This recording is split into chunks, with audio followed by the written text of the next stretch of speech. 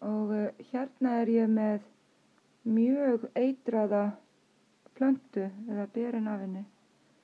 Uh, svo kallu uh, hvít bríónía og uh, hér í bók og þetta er alveg frábær bók. Ég hef búin að fletta henni öruglega 5000 sinnum.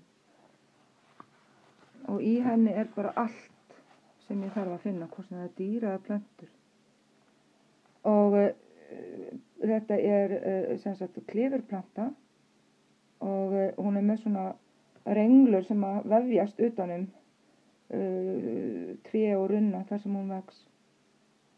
Og uh, ég er hérna búin að finna svona plöntu út í skógi og uh, semst, fylgdist með henni blómstra og hérna og er búin að týna af henni fræin eða berin og í hverju beri eru svona fjögur til sex fræ? Ég er nú bara í hönskum því að uh, eiturefni það eitraðasta af þessari plöntu eru hérna ber og, og, og rót og hérna það fyrir auðveldlega, það er fjögur í þessu líka, það fyrir auðveldlega í gegnum húð en það var þessi planta notuð í gamla daga þegar það þurfti að hressa við hesta fyrir sölu, þá verið þessu nuttað á húðina á þeim hér í Englandi og það gaf svona róða en ef það var notað mikið þá bara drápust þeir.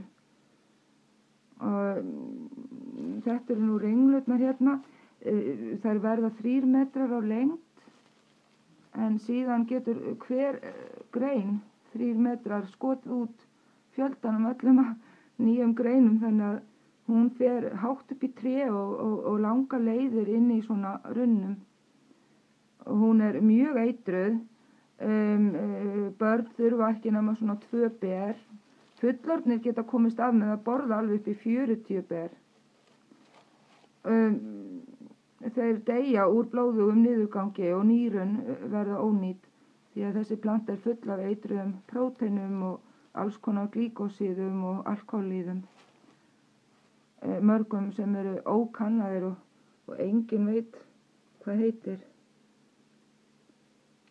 Mér þykir þessi planta alveg rosalega spennandi og hérna hún er mjög falleg inn í runnum og upp í trjám og er eina plantan af agurkuættinni sem að hérna vex vilt hérna í Englandi.